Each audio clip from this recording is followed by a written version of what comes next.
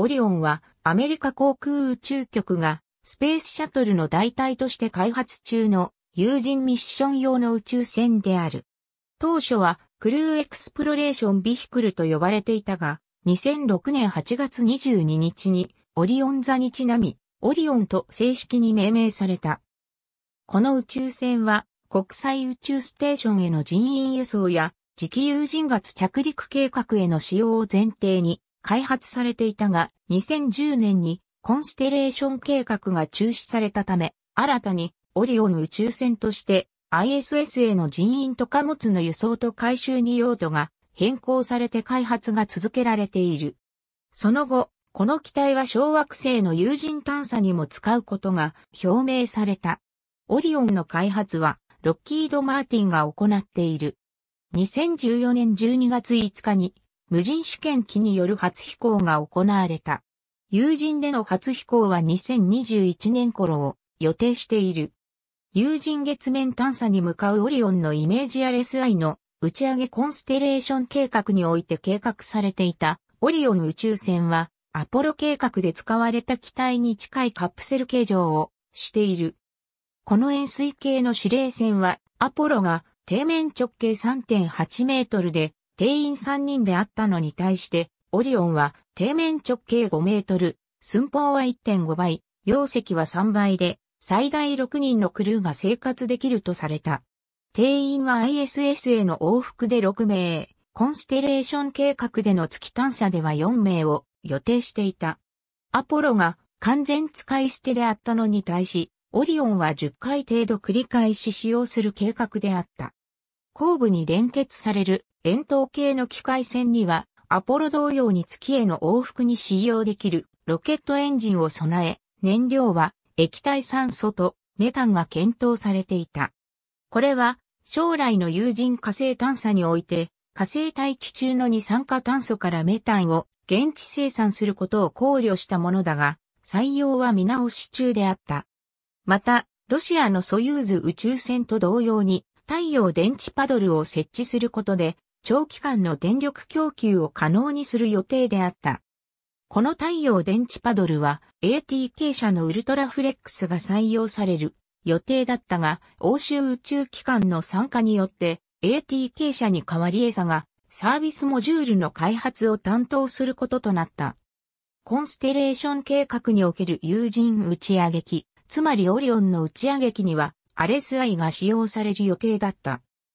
RSI は開発コストを削減するため、第1弾にはスペースシャトル固体燃料補助ロケットを延長したものを、第2弾にはサターンロケットで使われた J-2 エンジンを改良した J-2X エンジン1機を使用する予定となっていた。地球低軌道への打ち上げ能力はスペースシャトル並みの約25トンを計画していた。一方、貨物の打ち上げ機にはアレス V ロケットが用いられる予定だった。ガツ探査時には先にアレス V でアルタイルガツ着陸船を地球の周回軌道上に投入してから、アレス I でクルーを乗せたオリオンを同じ軌道に投入し、両者が軌道上でドッキングし月に向かうことになっていた。アレス V の第1弾のメインエンジンには、ボーイング社のデルタ4に使われている RS-68 エンジン5機が、固体ロケットブースターには5セグメント化されたスペースシャトルの固体ロケットブースター2機が、第2弾には J-2X エンジン1機が使用される予定だった。アレス V の地球周回軌道への打ち上げ能力は125トンで、アポロ計画のサターン V ロケットに匹敵する規模であった。メディアを再生する無人試験機の打ち上げ NASA は当初2011年までに試作機を製作、早ければ2014年にも有人飛行を行うとしていた。しかし、2007年4月にスケジュールが見直され、オディオン宇宙船と RSI の試作機は2013年、有人飛行は2015年以降に延期となった。これに伴い、開発費も39億ドルから43億ドルへ上昇した。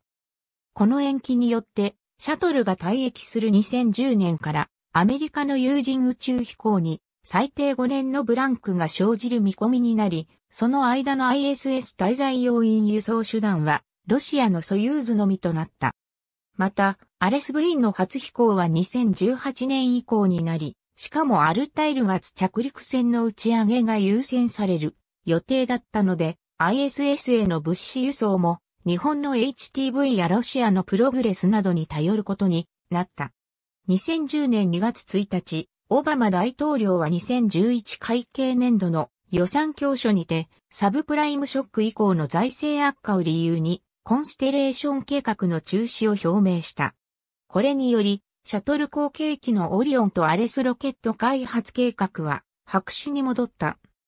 しかし、同年4月13日、米政府が用途を国際宇宙ステーションの緊急脱出装置に変更した上で、オリオンの開発を継続する方針を持っていることが明らかになり、同月15日にオバマ大統領がフロリダ州で公式に発表した。2011年5月、NASA はオリオン計画を仕切り直す形で月や火星、小惑星への飛行を主眼に置いた多目的有人宇宙船の開発を発表した。NASA は当初、MPCV をオリオンをベースとした宇宙船としていたが、後にオリオンの名前自体も受け継がれており、事実上、オリオン宇宙船が復活した形となった。2013年1月、NASA と欧州宇宙機関は、餌がオリオンの開発に参加することを発表した。餌は欧州補給機の技術をもとに、オリオンのサービスモジュールを担当する。このイザムはエアバスディフェンススペース社が開発を担当する。長さ2.7メートル、直径4.5メートル、乾燥重量は3.5トンで8.6トンの推進薬を搭載可能。2014年12月5日には無人試験機を打ち上げる初の試験飛行が実施された。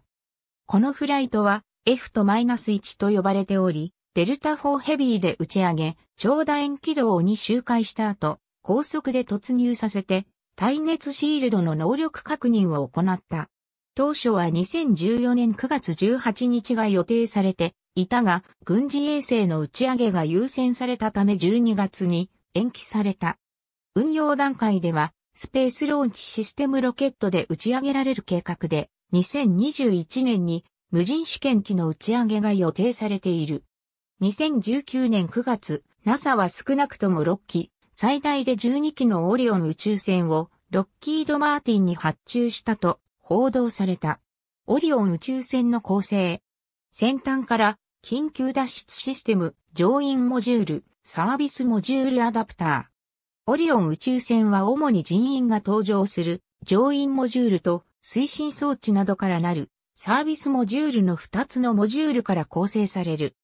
これらは実質的に1967年から1975年にかけて運用されたアポロ指令、機械船を元にしたものだが、スペースシャトル計画による成果が取り込まれている。NASA の探査システム計画局のニール・ウッドワードは、この設計について、既存の技術と手段でリスクを下げると語っている。オリオンはアポロ時代の宇宙船と似てはいるが、より発展した技術が用いられている。オリオンは6ヶ月という長期間の新宇宙ミッションに対応するようデザインされており、さらに生命維持、推進装置、耐熱、アビオニクスといったシステムも新たな技術にアップグレードできるように設計されている。乗員モジュールはアポロ宇宙船のものより大きく、短期、長期どちらのミッションにおいてもより多い人員が登場可能になっている。サービスモジュールは推進装置のための燃料と乗員のための酸素と水を搭載する。